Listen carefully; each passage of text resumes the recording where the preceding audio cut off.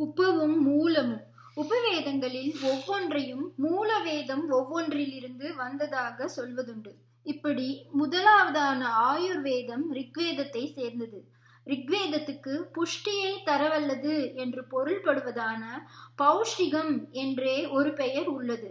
இரண்டாவதான தனுர்வேதம் யஜுர்வேதத்தையும் மூன்றாவதான காந்தர்வ வேதம் சாம வேதத்தையும் நான்காவதான அர்த்த சாஸ்திரம் அதர்வ வேதத்தையும் சேர்ந்தவை.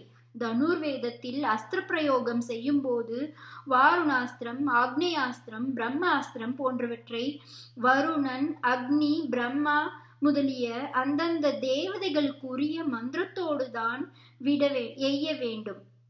மந்திர சக்திதான் இங்கே ஆயுதத்தை விட முக்கியம். இந்த மந்திர பிரயோகங்களை அத்தர்வ வேதம்தான் கூறுகிறது. ஆகையால் தனுர் வேதத்துக்கு அதர்வ சம்பந்தமும் இருப்பதாக ஆகிறது. ஆயுர்வேதத்தில் முக்கியமான ஒரு சாஸ்திர கர்த்தரான சுஷ்ருதர் இதனை அத்தர்வ வேதத்தை சேர்ந்ததாக கருதுகிறார்.